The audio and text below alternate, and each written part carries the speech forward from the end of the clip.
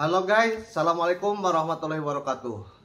Nah untuk video kali ini pemirsa Jadi di apabila kita pelihara e, lebah trigona Dengan memiliki pekarangan yang tidak begitu besar Jadi kita harus pandai memilih dan memilah e, jenis vegetasi yang sangat disukai oleh lebah trigona ini. Nah untuk vegetasi ini mungkin lebah mau trigona lepisep atau yang lainnya sama juga pasti menyukai. Nah, untuk kali ini saya akan membahas vegetasi apa saja yang disukai oleh jenis Trigona lepisep. Setelah saya amati setiap pagi, nah kelihatan mana bunga apa yang dihinggapi oleh lebah Trigona tersebut.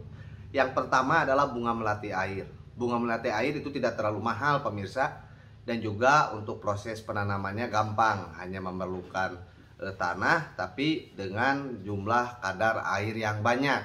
Nah bunga melati air ini berwarna putih.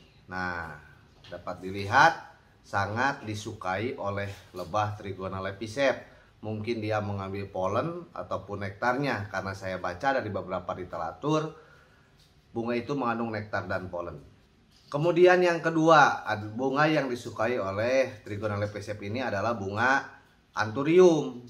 Nah, di anturium itu suka ada tunas, lama kelamaan ada kuning-kuningnya, ada polennya, itu juga sangat disukai dan dihinggapi. Nah, seperti ini. Sangat disukai. Selain daripada trigona juga, semut juga kadang hinggap atau merayap di seputaran eh, polen tersebut.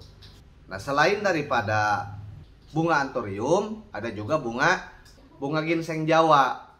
Nah, bunga ginseng Jawa itu sangat mudah pemirsa, menyebarnya sangat mudah, cara nanamnya juga sangat mudah dan itu tergolong murah. Saya juga dapat dari tetangga. Itu bunganya berwarna ungu. Nah, itu sangat disukai, ungu ke merah-merah eh merah ke ungu-unguan pemirsa. Itu sangat disukai juga. Nah, setiap pagi biasanya menunggu mekar atau menjelang mekar labah lepisep ini atau trigona lepisep ini hinggap di e, bunga daripada ginseng Jawa ini.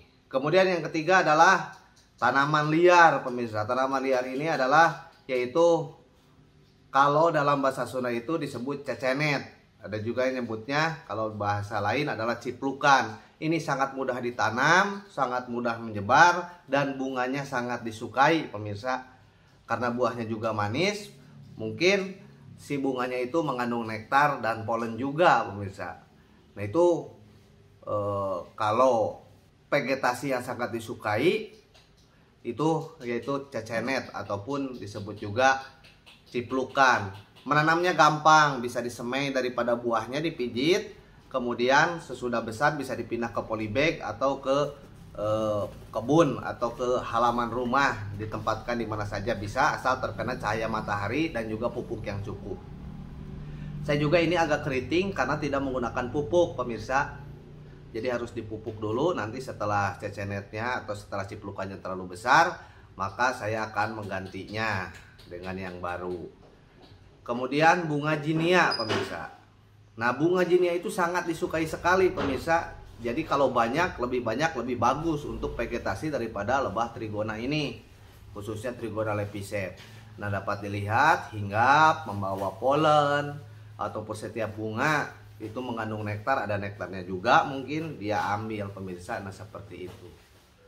Nah pemirsa tak kalah pentingnya karena di saya juga ada air mata pengantin itu wajib ada tapi masih belum berbunga jadi hinggap di bunga-bunga yang biasa saja Nah mungkin pemirsa eh, sekian daripada pembahasan baru beberapa jenis yang saya amati dan yang saya video.